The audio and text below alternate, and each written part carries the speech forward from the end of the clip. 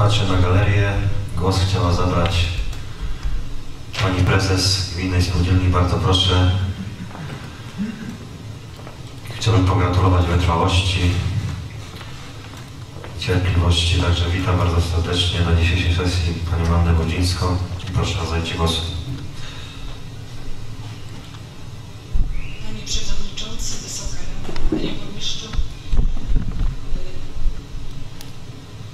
Chciałam zabrać głos e, również w sprawie miejscowego planu zagospodarowania przestrzennego ulicy Mickiewicza, ale niejako po drugiej stronie.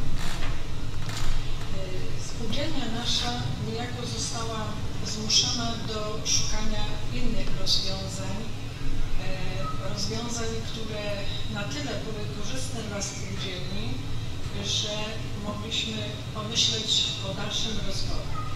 Tu pragnę przypomnieć, że e, albo powiedzieć, bo nie wszyscy Państwo wiecie, że zarówno Żabka, zarówno Rosman, Zeguła i Pepko są własnością gminnej spółdzielni. To jest teren gminnej spółdzielni. Spółdzielnia do tej pory nie sprzedała kawałka gruntu.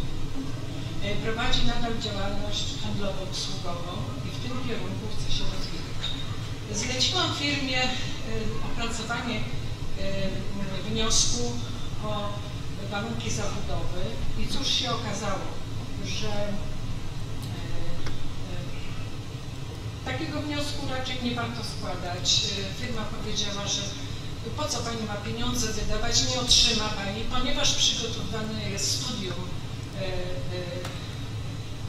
uwarunkowań, czy jak to się nazywa, nie znam nazwy, i jest przewidziana tam produkcja.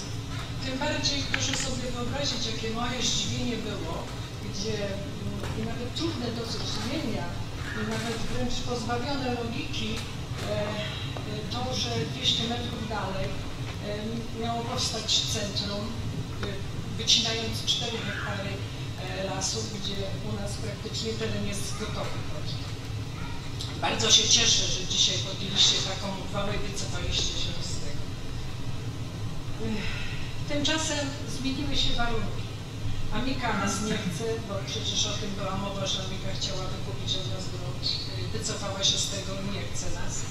E, Zmieniła się też sytuacja, jeżeli chodzi o korki na drodze Mickiewicza. E, Wiadomo, że ich nie ma. No teraz chwilowo tak, bo trwają tam prace, ale myślę, że to się rozwinie i, tu Pan Burmistrz też mówił, że jeżeli będzie druga część obwodnicy, również to będzie miało wpływ, że to miasto jest już rozkorkowane.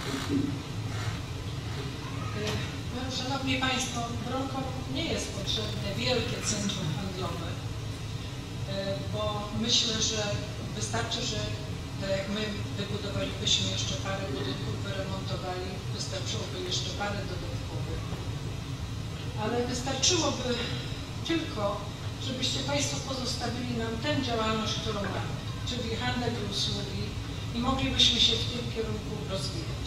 Sytuacja nasza jest na tyle dobra, że jeżeli Państwo nie weźmiecie tego pod uwagę przy najbliższym głosowaniu, bo podejrzewam, że w najbliższym czasie burmistrz to na którejś sesji wrzuci, to pozostanie Wam pewnie oglądanie takiego wizerunku spółdzielni jak do tej pory przez kolejne 10, może 20 lat.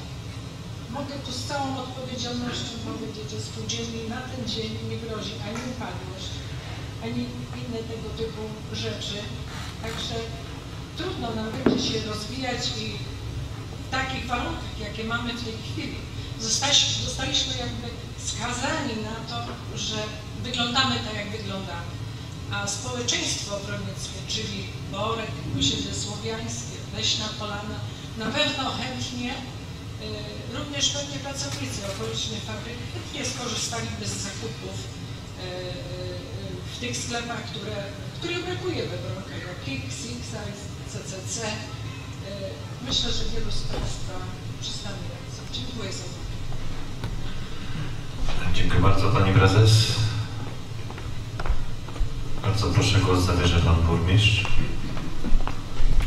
Panie Przewodniczący, ja tylko informuję, że w zakresie tego terenu, o którym Pani Prezes e, mówiła, e, jest procedowana zmiana studium E, W poniedziałek pojawi się ogłoszenie o wyłożeniu publicznym, czyli przyjdzie ten moment, w którym z rozwiązaniami proponowanymi w, tym, w tej zmianie będzie można dyskusję publiczną prowadzić, a później składać uwagi.